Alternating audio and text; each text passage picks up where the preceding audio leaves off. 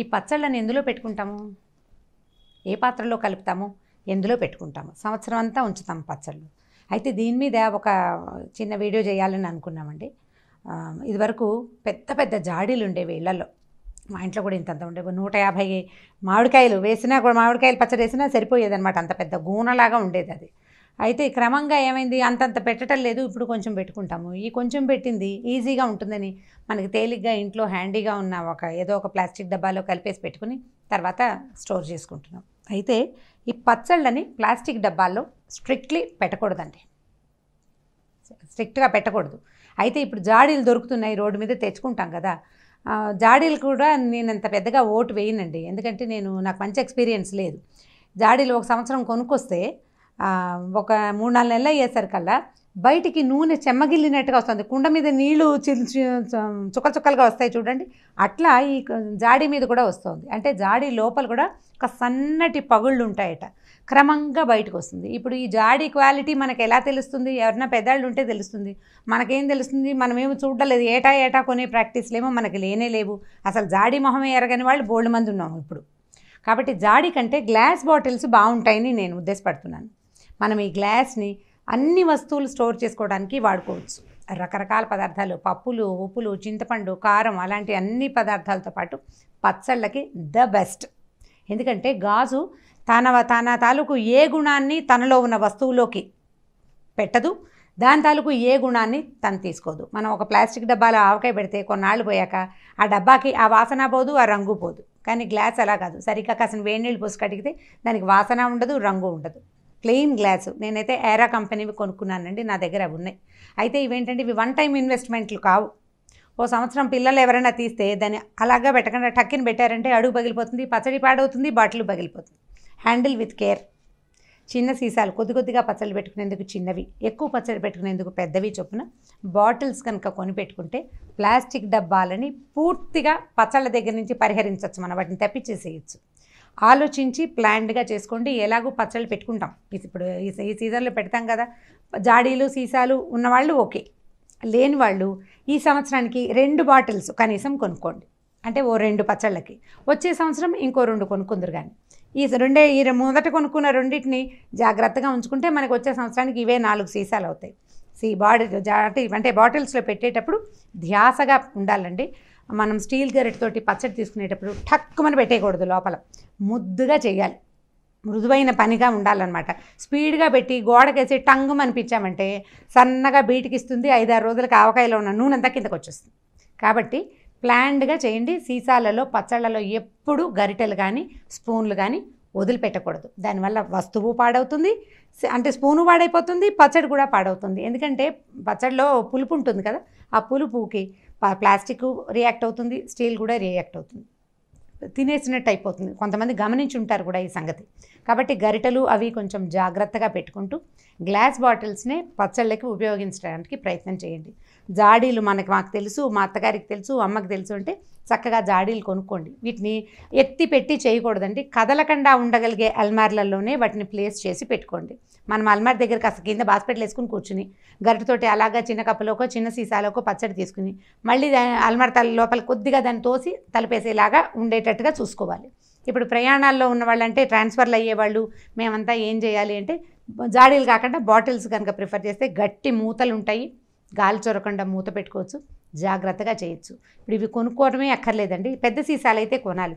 చిన్నవి ఈ size bottles కావాలంటే తేనె బాటిల్స్ తర్వాత జామ్ బాటిల్స్ ఇలాంటివి జాగ్రత్త చేసి పెట్టుకుంటే కనుక వాటిని మనం పచ్చళ్ళకి వాడుకోవచ్చు. మూత ఒకటి ప్లాస్టిక్ది ఉంటుంది. ప్లాస్టిక్ మూతన్న మూత దాకా మనం ఏం పెట్టాం. మూతకి ఏది అంటదు. జస్ట్ పైన మూత ఉంటుంది అంతే. ఏం పర్వాలేదు. హాయిగా ఉంటుంది వాడుకోవచ్చు. సీసాలు ఏదైనా గ్లాస్ బాటిల్ ఇంత బాటిల్ వచ్చినా పారేయద్దు.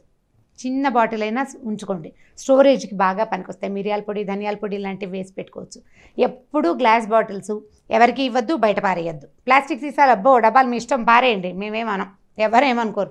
హ్యాపీగా బయటపడేయండి లేదా బయటపడేస్తే అదంతా రద్దులోకి వెళ్తుంది అనుకుంటే ఓ పెద్ద అటపెట్లో వేసి అటక మీద పడేయండి. ఓ పక్కన పడి ఉంటే తర్వాత తర్వాత ముందు కాలానికి చూడొచ్చు. కాబట్టి పచ్చళ్ళకి బాటిల్స్ ఉన్నవాళ్ళు సరే లేని వాళ్ళు కనీసం టూ అయినా కొనుక్కోండి.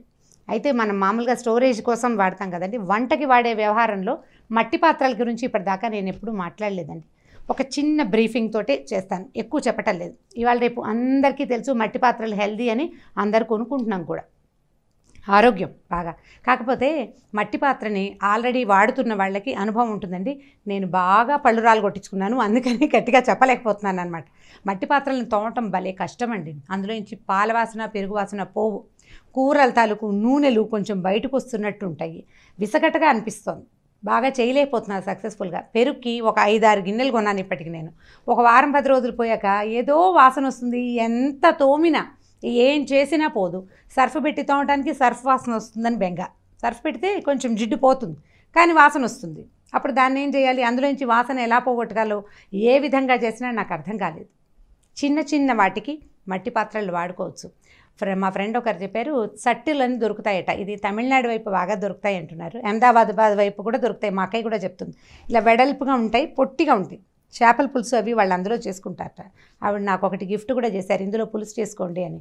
నేను రెండు మూడు సార్లు చేశాక ఆ జిడ్డుని ఎలా పోగొట్టుకోవాలో తెలియక దాన్ని ఊరికే ఓ చోట కనపడే చోట పెట్టాను. నేనున్నాననేది నాకు గుర్తు చేస్తూ ఉంటుంది. దాన్ని తోమలేను పెట్టుకోలేను.